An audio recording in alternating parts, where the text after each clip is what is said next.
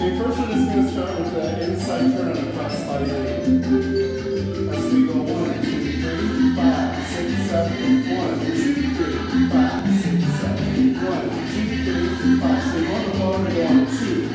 Now we're on one, two, three, five, six, seven. Last basic, two, three, five, six, seven,